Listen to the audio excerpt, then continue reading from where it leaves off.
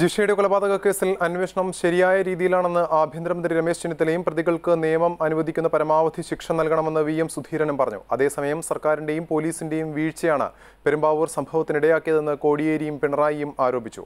സംഭവത്തിന്റെ ഉത്തരവാദിത്തത്തിൽ നിന്നും സ്ഥലം എം എൽ എക്ക് ഒഴിഞ്ഞുമാറാനാകില്ലെന്ന് സി പി ഐ സംസ്ഥാന സെക്രട്ടറി കാനം രാജേന്ദ്രൻ പറഞ്ഞു. ഗോവിന്ദസ്വാമിയുടെ വധശിക്ഷ നടപ്പാക്കിയിരുന്നെങ്കിൽ ഇത്തരം സംഭവങ്ങൾ ആവർത്തിക്കില്ലായിരുന്നുവെന്ന് കുമ്മനം രാജശേഖരൻ പ്രതികരിച്ചു. പീഡന കേസുകൾ ഒരു മാസം കൊണ്ട് തീർപ്പാക്കാൻ തക്ക പ്രത്യേക കോടതികൾ ആരംഭിക്കണമെന്ന് സുരേഷ് ഗോപി എം പി ആവശ്യപ്പെട്ടു. നിലവിലുള്ള അന്വേഷണം നല്ല ദിശയിലാണ് മുന്നോട്ട് പോയിക്കൊണ്ടിരിക്കുന്നത്.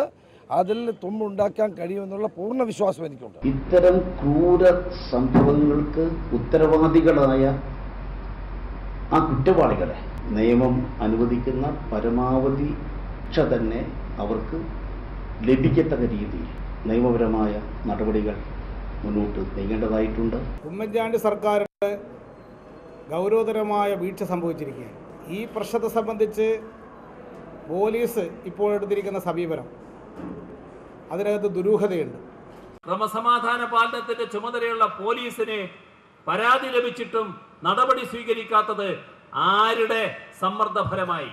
ഈ സംഭവം കണ്ടിട്ടും മറച്ചുവെച്ചത് ആരുടെ നിർദ്ദേശപ്രകാരം? തദ്ദേശ തദ്ദേശ സ്വയംഭരണ സ്ഥാപനങ്ങൾക്കും ഒക്കെ ഉത്തരവാദിത്വമുണ്ട് ആ, കണിശമായിട്ടും അദ്ദേഹം ആ ഉത്തരവാദിത്വം ഷെയർ ചെയ്യണം. ഗോവിന്ദചാമിക്ക് കൊലക്കയർ കൊടുക്കാൻ പാടില്ല എന്നും വധശിക്ഷ നൽകാൻ പാടില്ലെന്നും ശക്തിയായി വാദിച്ചവർ സി പി എമ്മുകാരാണ്. ആ വധശിക്ഷ നടപ്പാക്കിയിരുന്നുവെങ്കിൽ സ്ത്രീകൾ ഇത്തരത്തിൽ പീഡിപ്പിക്കപ്പെട്ട് കൊലക്കിരയാവുകയില്ലായിരുന്നു. കാലതാമസം വീഴ്ചയൊന്നും ചർച്ച ചെയ്യേണ്ട കാര്യമല്ല. മുപ്പത് ദിവസം കൊണ്ട് പ്രതിയെ പിക്ക് ചെയ്താൽ മുപ്പത് ദിവസം കൊണ്ട് ട്രയൽ തീരണം.